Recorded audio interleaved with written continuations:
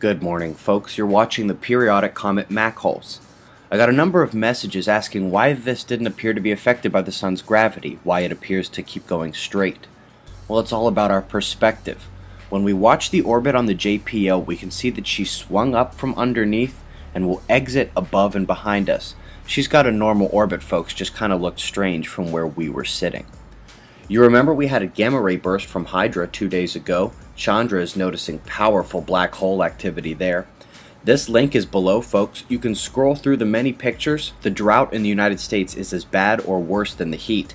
I've been reporting on the global changes daily, and while tornadoes aren't unheard of in Poland, this outbreak was horrendous. In South Africa, Johannesburg and Cape Town were completely cut off from one another due to severe winter weather, and again, people dying by the dozens in China due to these storms. It's like something out of a movie. Our magnetosphere has been jacked for about two straight days.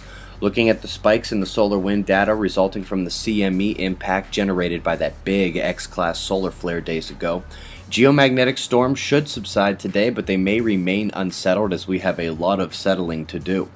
The red above the blue here indicates solar plasma has been penetrating our ionosphere for over a day. Temporal resonance is strong both at the baseline and at higher frequencies, and the charged particle bombardment remains very high here on Ovation Prime.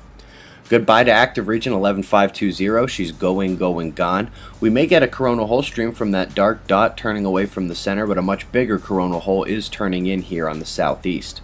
The Moon has moved on from conjoining Jupiter and Venus without acting as a quake trigger. The Moon will be aligned with the Sun three days from now in a new moon, just as Mars and Uranus are on opposite sides of the Earth.